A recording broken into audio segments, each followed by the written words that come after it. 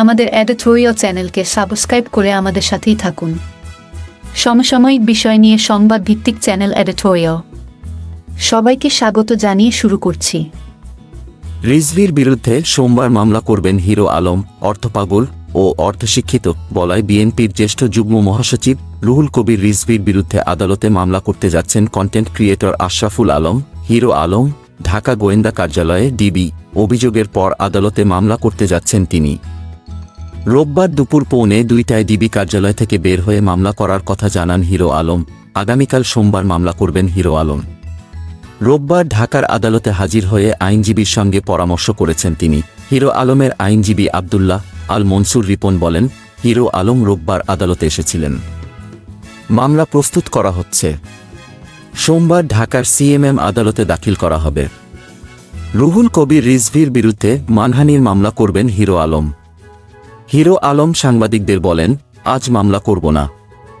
আইনজীবীর সঙ্গে পরামর্শ করতে এসেছি। কন্টেন্ট ক্রিয়েটর আরও বলেন, বিএনপির সিনিয়র নেতা রুহুল কবির রিজভি অশিক্ষিত বলে গালিগালাজ করেছেন। আমি ডিবিতে এ নিয়ে অভিযোগ করতে এসেছিলাম, কিন্তু তারা বলেছে, এ বিষয়ে ডিবি সরাসরি কোনো মামলা নিতে পারে না। তাই এখন আমি আদালতে মামলা করতে যাচ্ছি। হিরো আলম আরও বলেন, আমি অশিক্ষিত, কিন্তু তার দলের নেত্রী এইট পাস। অশিক্ষিত পাগল বলে আমার সম্মানহানি করেছেন। সবাই মনে করে আমি বিএনপির লোক।